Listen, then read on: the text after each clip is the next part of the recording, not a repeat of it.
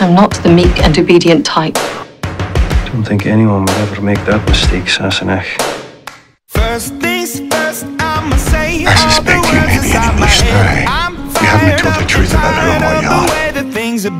Perhaps you don't ken his mind. Of that, I'm sure.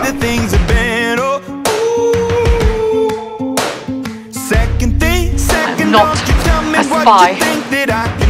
I am Blaine Claire Beauchamp and nothing more. Am I mistaken, or do you two know each other? Get off me, you bastard. For a moment there, they did look familiar.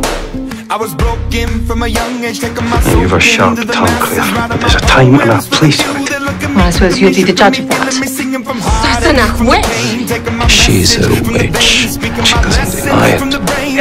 No! I confess!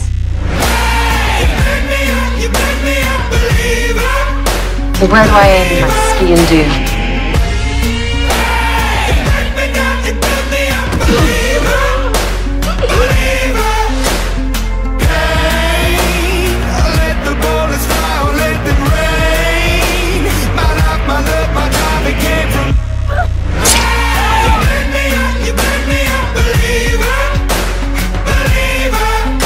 No. No, I'm only a woman. No pay any attention to what I have to say. Women are only fit to, to do as they're told and obey orders. The dean informed me there was a woman in this year's incoming class. A woman and a Negro. Go Eminem.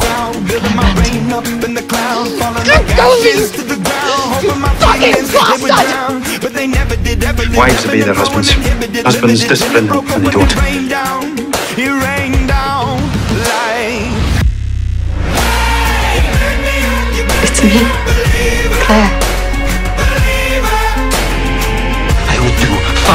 Than lie to keep you. If you ever raise a hand to me again, James Fraser, I will cut your heart out and have it for breakfast. Do you understand me?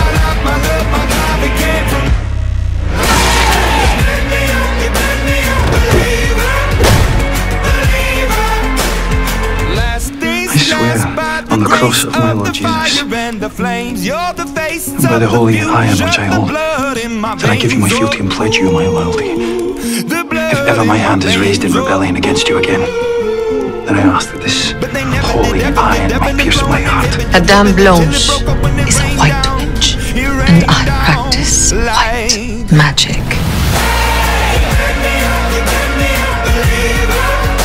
Sigh. Allow me to present my wife, Claire Fraser, and Lady Broch Tuarach.